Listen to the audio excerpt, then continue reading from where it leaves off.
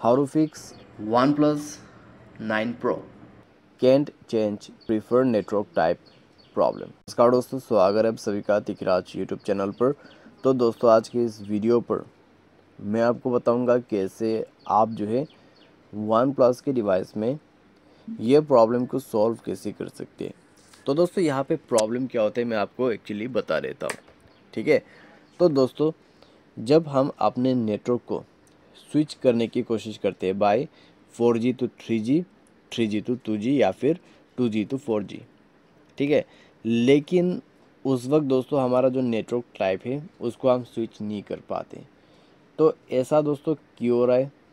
कैसे आपको problem solve करना है? यही मैं आपको इस वीडियो पे बताऊँगा। तो वीडियो को पूरा देखें, आपका भी प्रॉब्लम सॉल्व हो जाएगा। ठीक है? वीडियो को अंत तक देखें और वीडियो शुरू करने से पहले जाके चैनल को सब्सक्राइब करते हुए बेल आइकन को क्लिक करें। अगर आप ऑनलाइन पैसा कमाना चाहते हैं तो वीडियो डिस्क्रिप्शन पर आपको लिंक मिल जाएगा।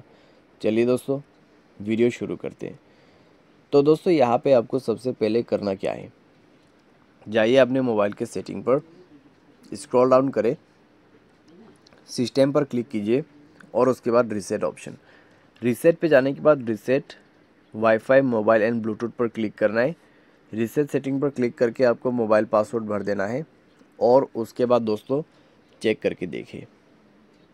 अगर आपका प्रॉब्लम सॉल्व हो जाता है, आप यहाँ पे नेटवर्क को स्विच कर पा रहे हैं तो अच्छी बात है, ठीक है?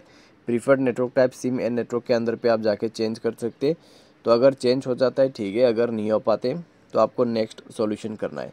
मोबाइल को सेफ़ मोड पे रिबूट करें। उसके लिए पावर ऑफ़ बटन पे क्लिक करके देखिए। पावर ऑफ़ के जो यहाँ पे स्विच है, दो सेकेंड आपको दबा के रखना है। उसके बाद दोस्तों आपको ओके कर देना है तो सेफ़ मोड पे मोबाइल रिबूट हो जाएगा। ठीक है? जब मोबाइल रिबूट हो जाएगा, तब दोस्तों चेक करके देखना। अगर सॉल्व हो जाता है प्रॉब्लम तो ठीक है।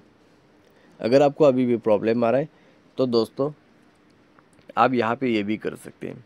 सेटिंग पर जाइए वाईफाई नेटवर्क पे जाइए सीम नेटवर्क पे जाइए। अपना सिम ओपन कीजिए।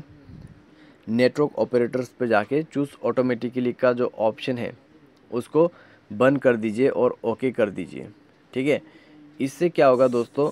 आपका जो नेटवर्क है, वो ऑटोमेटिक मोड से हट के यहाँ पे मैनुअली सेलेक्ट करना पड़ेगा। ठीक है? तो मैनुअल नेटवर्क आपको यहाँ पे मिल जाएगा।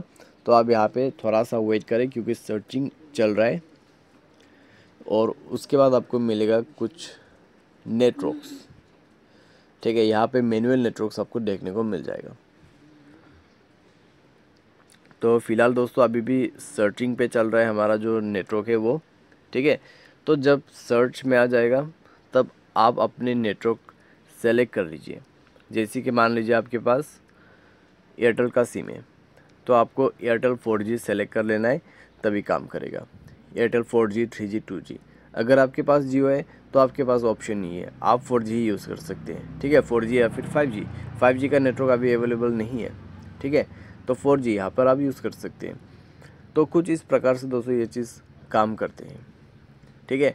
तो ये दोस्तों टाइम लेगा थोड़ा सा अवेलेबल नेटवर्क जो है सर्च करने के लिए। तो मैं इसको यहाँ पे बैक कर देता हूँ।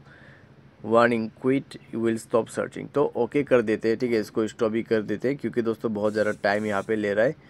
तो इसको आप दोस्तों अच्छे से सर्च करके नेटवर्क वहीं से सेलेक्ट कर लेना। तो आप ये भी कर सकते हैं। साथ ही साथ दोस्तों सिस्टम पर जाके सॉफ्टवेयर अपडेट चेक करें।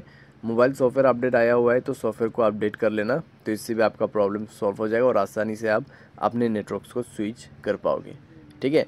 सारे साथ दोस्तों आप अपने मोबाइल के सिम कार्ड को इजेक्ट और इंसर्ट भी कर सकते हैं। तो ये प्रोसेस भी आप फॉलो कर सकते हैं।